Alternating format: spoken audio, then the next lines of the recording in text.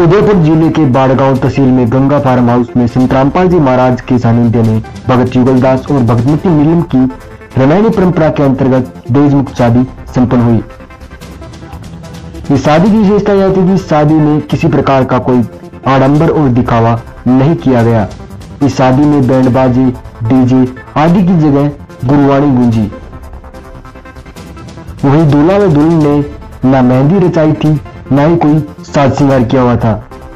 यह शादी केवल साधारण तरीके से गुरुवाणी और सूर्य कंदन का पाठ कर केवल सत्रह मिनट में संपन्न हुई। इस अनोखी शादी में आए हुए मेहमानों ने कहा कि यह शादी उनके लिए एक मिसाल की तरह है। वह भी इस शादी के अनुकूल भविष्य में कदम उठाएँगे। समाज के सामने एक मिसाल बनने वाली इस दहेज व आडम्बर रहित शादी के बारे में दुल्हे युगलदास व दुल्हन भगतवंती नीलम ने कहा कि वो संत रामपाल जी महाराज के अनुयायी है। सदगुरु रामपाल जी महाराज जी की प्रेरणा से उन्होंने ये आडम्बर व देश मुक्त शादी की है। इस मौके पर भगत लालचंद दास, मुकेश दास, भगवती दास अम्बालाल प्रकाश नीलकंठ नाना नानालाल, शांतिलाल, विनोद आदि अतिथि मौजूद रहे।